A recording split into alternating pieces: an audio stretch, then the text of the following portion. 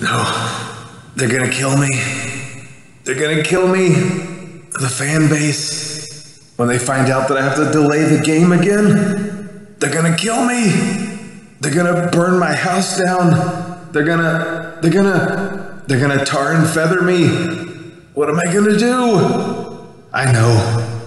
I'll make a game for them. A, a game where I can help them. A game where I fight with them. That's it.